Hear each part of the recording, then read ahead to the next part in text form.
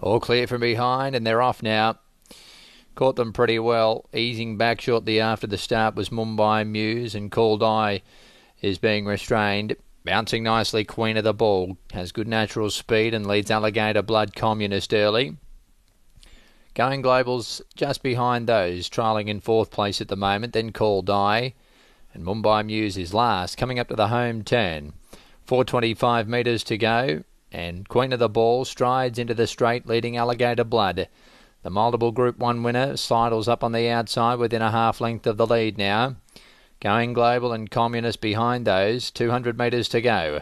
Alligator Blood surges up on the outside of Queen of the Ball. He's taken up the running now, the Blood. Alligator Blood about a half in front of Queen of the Ball, given a quiet time. Called Eyes late on the scene, but Alligator Blood is going to be too good and he strides down to win the heat by three quarters on Queen of the Ball, Called Eye, Communist, then Going Global and Mumbai Muse.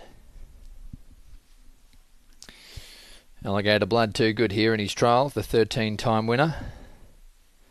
Gai Waterhouse, Adrian Bott, Tim Clark. He's uh, he's gone nice. He's looked good, hasn't he? He's looked good this morning.